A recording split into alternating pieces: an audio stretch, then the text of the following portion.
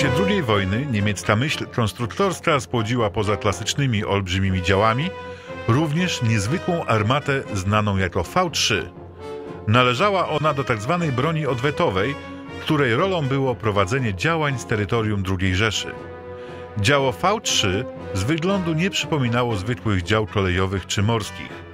Posiadało lufę długości 127 metrów, kalibru 150 mm. Niezwykle innowacyjny był sam proces oddawania strzałów.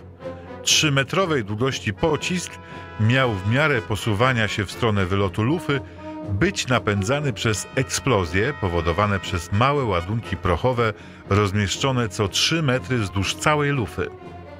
Nadawało to pociskowi prędkość wylotową 1550 metrów na sekundę i zasięg aż do 160 km.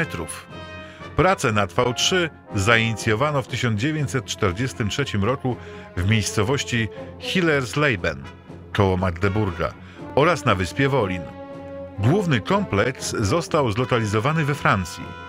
Planowano, że do lipca 1944 roku w pięciu podziemnych tunelach zostaną umieszczone baterie po pięć dział każda. Zespół 25 dział mógł być w stanie zasypywać Londyn gradem 600 pocisków na dobę. Ponieważ niezwykle trudne było celowanie z takiej broni, wszystkie działa miały być na stałe zwrócone na stolicę Wielkiej Brytanii.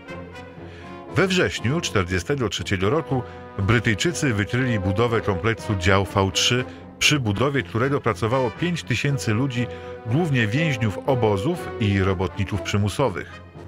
Pierwszy nalot przeprowadzono 9 maja, jednak bez rezultatów.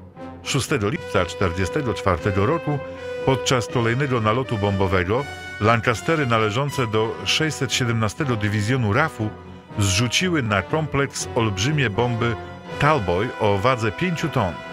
Jedna z nich eksplodowała bardzo blisko wylotu pierwszego szybu, w którym miały przebywać działa, powodując jego zawalenie. Inne bomby wbiły się w skałę wapienną z takim impetem, że zapadły się i inne nieumocnione tunele. A w najniższym korytarzu na głębokości 130 metrów zginęło zasypanych i zalanych wodą kilkuset znajdujących się tam ludzi.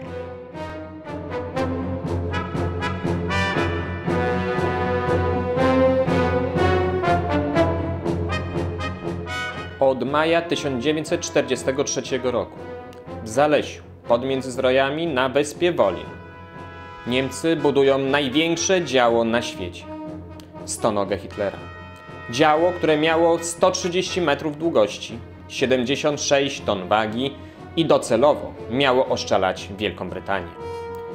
Projekt stary, projekt pochodzący z 1876 roku, opracowany przez francuskiego inżyniera Perrault, miał zmienić oblicze II wojny światowej. Ten stary projekt w 1940 roku, kiedy armia niemiecka wkracza do Paryża, zostaje przejęty przez inżynierów niemieckich. I ten, ten sam projekt w 1943 roku w marcu zostaje przedstawiony dla Alberta Spera, ministra do spraw uzbrojenia Rzeszy, jako broń alternatywna do ataku na Wielką Brytanię. Zalesie, koło Międzyzdrojów, w dzisiejszym Parku Narodowym zostało wybrane jako teren, gdzie miało zostać wybudowane działo, które zmieni oblicze wojny według inżynierów niemieckich. V3 Bergenfunwaffe 3 działo, które miało 130 metrów długości, 76 ton wagi i 157 żołnierzy niemieckich. Zasięg działa 160 km. Działo nie, nietypowe pod każdym względem, gdyż wzdłuż całej lufy co 3 metry są dodatkowe komory prochowe, tak zwane dopalacze.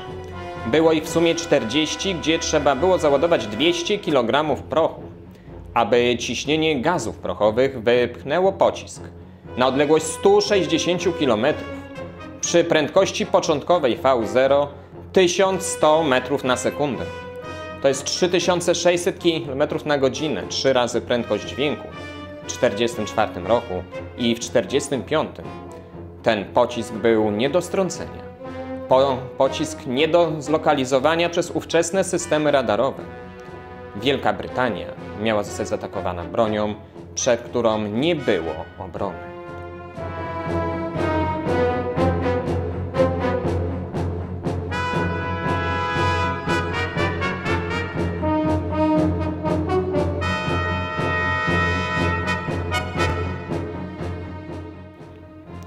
Zalesiu na wyspie Wolin powstają trzy działa testowe.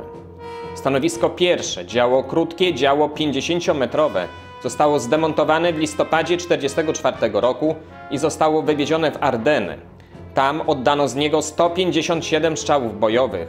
Oszczelano węzeł kolejowy w Lampaden na zakolu rzeki Ruwer pod Luksemburgiem. 30 grudnia 1944 roku. I to jedyny epizod znany historii użycia działa wielokomorowego podczas II wojny światowej. Stanowisko drugie i stanowisko trzecie są to już działa 130-metrowe, stanowisko drugie i stanowisko trzecie 110-metrowe. Te działa służyły do te testów, a pociski leciały stąd w stronę morza, za Kołobrzeg, najdalej na Wicko Morskie. Wszystko po to, aby przetestowaną broń na terenie wyspy Wolin osadzić we Francji i oszczelać Londyn. Kiedy tutaj są testy i próby, w tym czasie w miejscowości Mimoje, 30 km od Calais, 152 km od Londynu w linii prostej, 5000 jeńców wojennych buduje bunkier, 200 metrów pod ziemią. W sztolniach miało być ukryte docelowo 50 stanowisk działa wielokomorowego. 50 dział w ciągu jednej tylko godziny miało wystrzelić na Londyn 200 pocisków. W ciągu doby mogło polecić ich 4800 i to już jest potężne zagrożenie dla Wielkiej Brytanii. O tym zagrożeniu mówią m.in. cy cytaty Winstona Churchilla i Paula Brickhilla. Pocisk mały, szybki i nie do zestrzelenia miał zmienić losy II wojny światowej. Obieg w Mimoje jednak nigdy nie zostanie ukończony przez III Rzeszę. Zostaje zlokalizowany i zbombardowany 5,5 tonowymi bombami typu Talboy. Podczas ataku na Mimoje zginął m.in. Joe Kennedy, brat późniejszego prezydenta Stanów Zjednoczonych. 6 czerwiec 1944 rok inwazja w Normandii. W sierpniu Amerykanie już zajmują wybrzeże francuskie, zajmują Mimoje, zajmują Calais, zajmują nieukończony obieg we Francji. Armii niemieckiej zabraknie czasu. Zabraknie czasu, aby wykorzystać te działa 130-metrowe. Zabraknie czasu, aby oszczerać Londyn. Tam Niemcom się nie udało. Ale tu w Zalesiu, na terenie wyspy Wolin, pod Międzyzdrojami, doświadczenia nadal są kontynuowane do 12 lutego 1945 roku.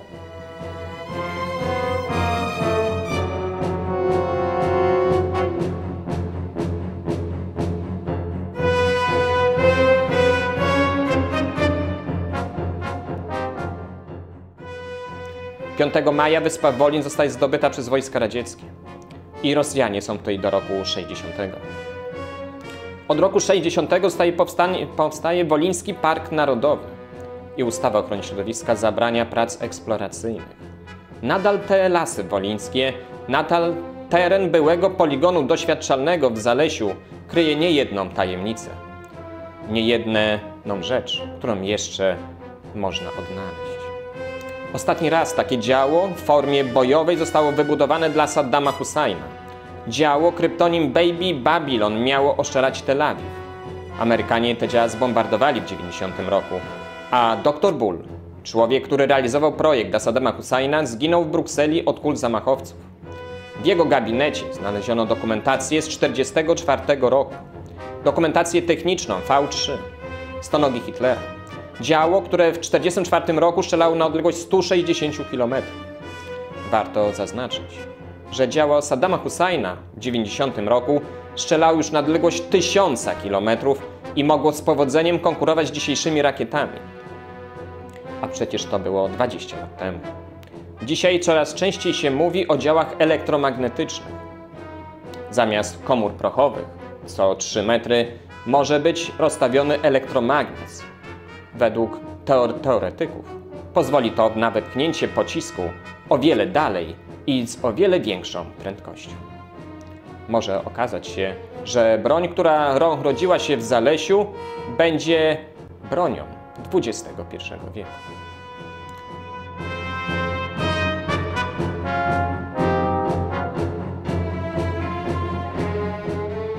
Pod kryptonimem V3 kryje się ogromne działo, którego lufa mierzyła 130 metrów, a pociski miotane były na odległość 160 km. Pocisk osiągał prędkość wylotową z lufy 1100 metrów na sekundę, to znaczy 3600 km na godzinę. Do obsługi działa potrzebnych było 157 żołnierzy oraz 200 kg prochu czarnego. Działo miało ciekawą budowę, gdyż wzdłuż 130 metrów lufy, oprócz głównej komory prochowej, co 3 metry 65 cm rozmieszczone zostały dodatkowe komory prochowe, aby zwiększyć prędkość wylotową pocisku, a tym samym zwiększyć jego zasięg.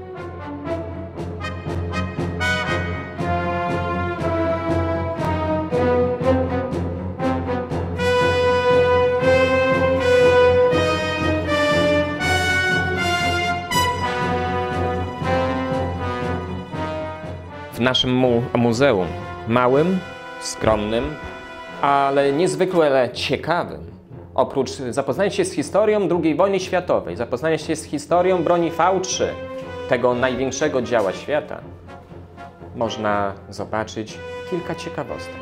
Rzeczy niezwykłych, rzeczy związanych z II wojną światową, tak jak buty, buty wartownicze z 1943 roku, buty zimowe, Buty wyprodukowane w Gdańsku dla żołnierzy Wehrmachtu są niezwykłe.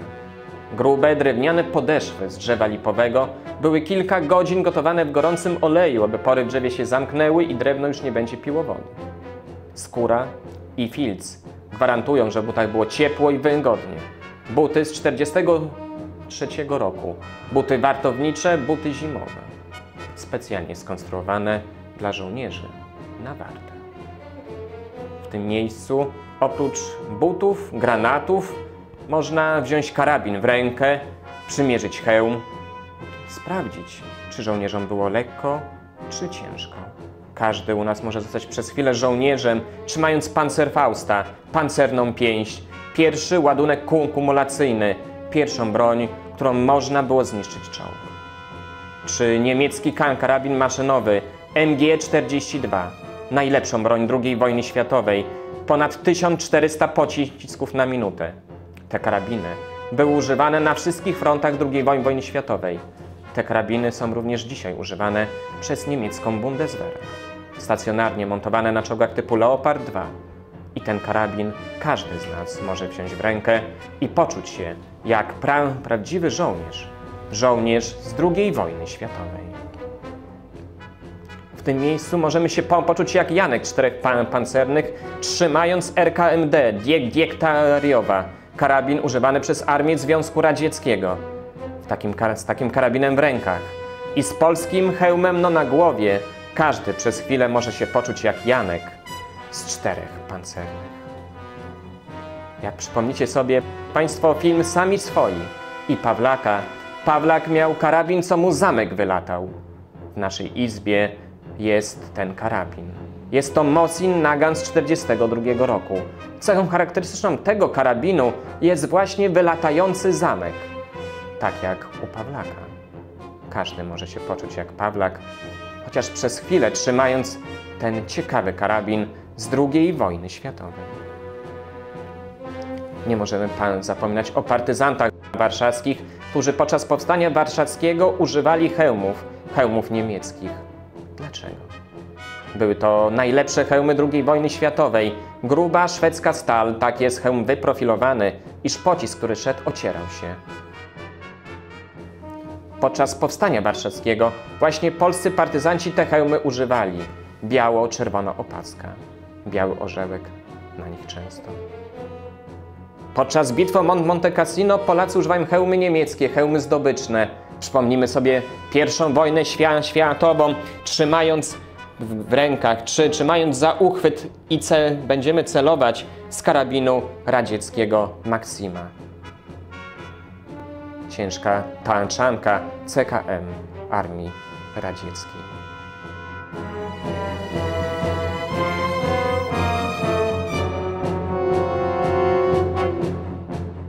W tym bunkrze odnajdziemy bombę lotniczą, bombę 50-kilową, jedną z mniejszych bomb używanych podczas II wojny światowej.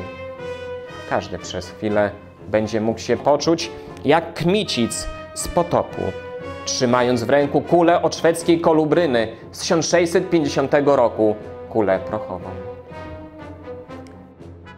Tu też odnajdziemy zdjęcia i dokumentację techniczną najbliższej okolicy. Jeziora Tu Turkusowego, zalanej kopalni kredy Johannesa Quistorpa, dzisiaj rezerwatu ścisłego Wolińskiego Parku Na- Narodowego. Znajdziemy dokumentację i zdjęcia z największej cementowni w Europie Johannesa Quistorpa. To tu, w, Lu- w Lubiniu, w tej cementowni, polski rząd w 1920 roku zamówił cement na budowę polskiej stoczni w Gdyni a w czasie II wojny światowej była to największa cementownia w kontynentalnej Europie. Tą cementownię Rosjanie wysadzają w powietrze w 1945 roku, ale jej historia jest również niezwykła, tak jak historia tej wy- wyspy Woli.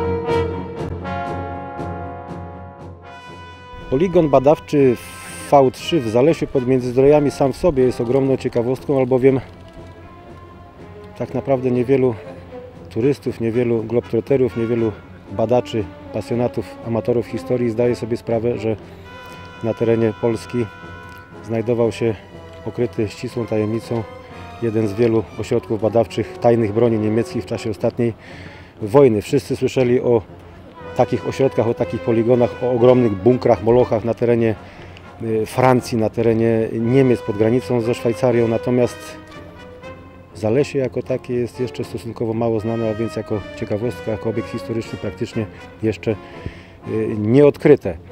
Ciekawostką ze strony technicznej tego ośrodka badawczego V3 w Zalesiu jest to, że testowano tam nie tylko jeden rodzaj armat wielokomorowych V3, ale praktycznie eksperymentowano też z różnymi jej kalibrami, co nie zdarzało się w przypadku dwóch pozostałych poligonów badawczych, bo łącznie w trzech ośrodkach badawczych y, naukowcy Hitlera testowali tą, tą broń.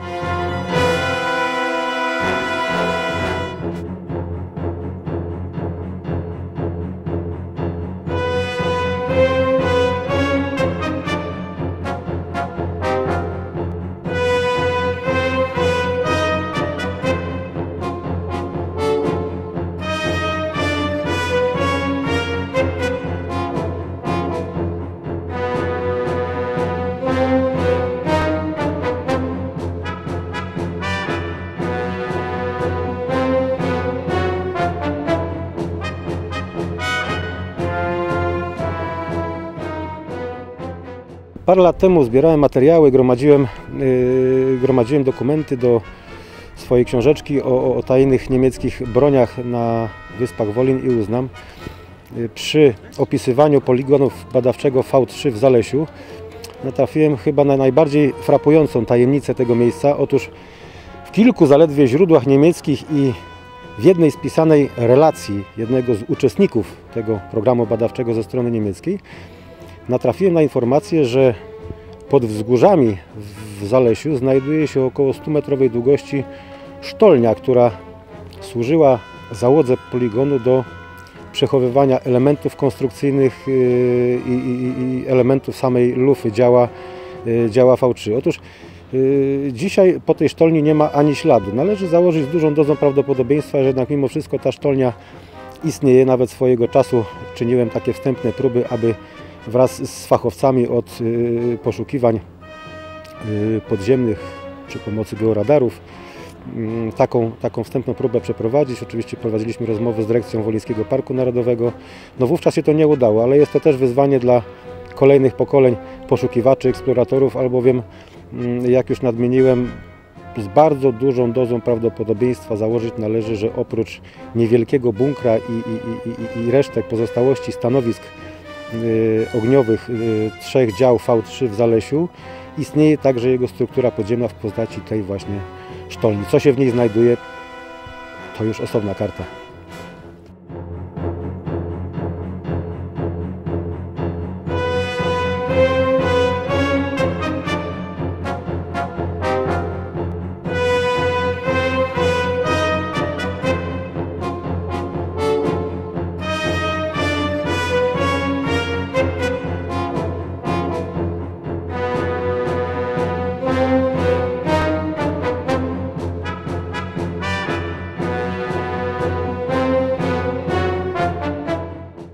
Prace badawcze nad bronią V3 tak naprawdę okazały się strzałem w próżnię, rozpaczliwym poszukiwaniem przez Hitlera sposobów na odwrócenie losu wojny. Oczywiście z góry było to skazane na zagładę. Zresztą y, dwa lata po rozpoczęciu prac nad bronią V3 i założeniu ośrodka badawczego w Zalesiu Rada Naukowa Rzeszy, a więc ten kwiat nauki przemysłu zbrojeniowego III Rzeszy przeanalizował y, projekt i ewentualne praktyczne wykorzystanie broni V3, oczywiście uznając ją za całkowicie nieskuteczną, niepotrzebną i, i, i za, zbędny wręcz, za zbędne wręcz marnotrawstwo pieniędzy i materiałów. Oczywiście zadecydowała o tym tutaj wola Hitlera, który był wizjonerem, który poszukiwał takich niekonwencjonalnych sposób, sposobów na, na wygranie wojny, a więc ten program kontynuowano niemalże do ostatnich miesięcy wojny. Przypomnę, że poligon w Zalesiu został zlikwidowany na przełomie lutego, marca 1945 roku, a więc niemalże pod lufami rosyjskich, rosyjskich yy, czołgów. Jak wykazali naukowcy niemieccy w czasie, w czasie wojny, nie odegrał on większej roli, okazał się tylko zmarnotrawionymi pieniędzmi i potencjałem przemysłowo-intelektualnym przemysłu zbrojeniowego. Um, użyto sporadycznie tych działów w wersji skróconej w czasie mm, niemieckiej kontrofensywy w Ardennach na przełomie 1944 i 1945 roku. Jedynym sukcesem technologicznym, jeśli tak to można nazwać, całych prac badawczych nad bronią V3 było opracowanie wdrożone już do produkcji seryjnej po wojnie oczywiście technologii produkcji dział gładkolufowych, no między innymi stosowanych dzisiaj powszechnie w wozach bojowych i, i czołgach, ale to, to była praktycznie cała zdobycz tych poszukiwań, tych, tych, tych, tych badań, natomiast w II wojnie światowej niczego to nie zmieniło, nie odmieniło losów wojny. Dziś stanowi jedynie ciekawostkę techniczno yy, historyczną. Wokół programu V3 oczywiście gromadziło się wiele znanych postaci świata nauki i polityki III Rzeszy. Był to program objęty klauzulą ścisłej tajemnicy, ale jednocześnie oczko w głowie Hitlera, a więc yy, podporządkowany był nieco organizacyjnie pod funkcjonowanie ośrodka rakietowego w Peenemünde, stąd na bieżąco byli o postępach prac informowani zarówno Werner von Braun, konstruktor rakiet V2, jak i generał Dornberger, kierownik ośrodka badań rakietowych y, w Peenemünde. Pod koniec 1944 roku pieczę nad programem V3 objął Gruppenführer Kammler, który z ramienia SS z kolei zajmował się też wdrażaniem produkcji i technologii tajnych broni w, Niemczech. Hitler na bieżąco był y, informowany o postępach prac lub ich braku, natomiast osobiście nigdy w Zalesiu nie był. Skończył jak skończył program badawczy y, nad bronią V3, niedługo potem też podzielił jego y, los. Amerykanie próbowali wykorzystać praktycznie jeszcze do celów wojskowych elementy dział V3, jakąś ich część zdobytą na zachodzie y, przewieziono do USA, do Arizony, tam próbowano montować te działa, strzelać z nich, ale okazało się to całkowitym fiaskiem, nieopłacalnym, a więc właściwie Amerykanie powtórzyli tylko opinię swoich niemieckich kolegów z lat wojny, że jest to broń nieopłacalna i nie warto jej produkować.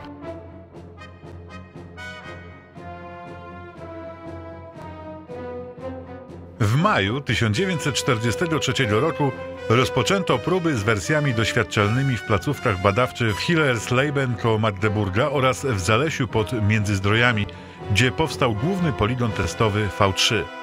W Zalesiu inżynierowie niemieccy wybudowali trzy stanowiska. Jedno 60-metrowe, drugie pełnowymiarowe 130-metrowe oraz trzecie 100-metrowe ustawione były pod różnymi kątami. Działa na stanowiskach 2 i 3 zamontowane zostały na żelbetonowych postumentach, zachowały się do dzisiaj. Natomiast pierwsze działo zostało oparte na konstrukcji stalowo-drewnianej. Działa w Zalesiu były skierowane na morze, a lot pocisków obserwowały jednostki marynarki wojennej. Broń ta szykowana była do ataku na Londyn. W tym celu, 152 km od stolicy Wielkiej Brytanii, rozpoczęto budowę ogromnego kompleksu bunkrów, w których miało się zmieścić 50 stanowisk dział wielkokomorowych V3. Bunkier był wielokrotnie bombardowany przez 617 Eskadrę Royal Air Force. Użyto w tym celu bomb pięciotonowych, tzw. Tak Tallboy. Duży wkład w opóźnieniu prac nad budową kompleksu miał patrol polskiej organizacji wojskowej Lille działający we Francji. Podczas jednego z ataków lotniczych zginął Joe Kennedy, brat późniejszego prezydenta USA. 6 czerwca 1944 roku nastąpiła inwazja w Normandii. W sierpniu natomiast alianci zajęli kompleks V3. Na wyspie Wolin w Zalesiu doświadczenia trwały jednak nadal do 12 lutego 1945 roku, kiedy to podpułkownik Bortscheller wydał rozkaz o ewakuacji poligonu. W czasach II wojny światowej poligon Zalesiu był obsługiwany przez 557 żołnierzy z oddziału artylerii. Do tej pory nie wiadomo, gdzie mieściły się magazyny oraz koszary dla takiej ilości ludzi. Pozostaje to do dzisiaj tajemnicą poligonu V3 i Buklowego Lasu Wolińskiego Parku Narodowego.